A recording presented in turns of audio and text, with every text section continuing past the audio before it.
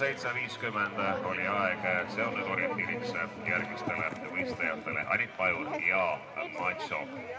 väike hetk, meistrid korrigeerivad süsteemi ja siis lubame starti Kristjan Sauli, Jüri taliklubist Konil on Aako.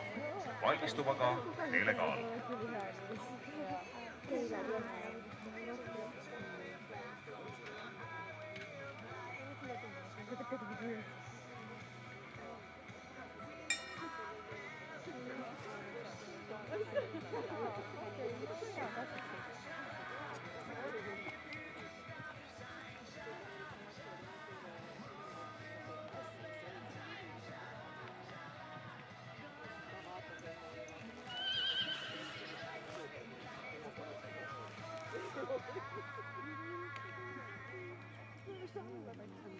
Tôi quay ra lúc hàng xưa này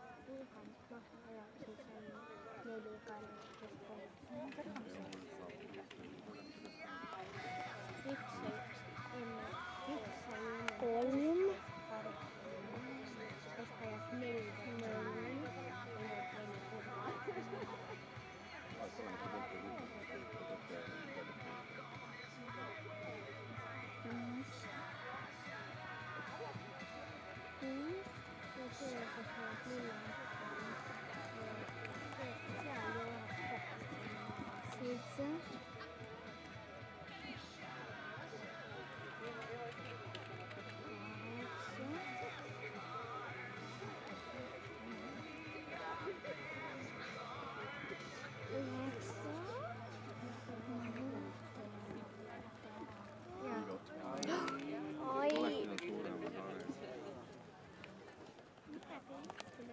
aeg jookseb muidugi. jaa.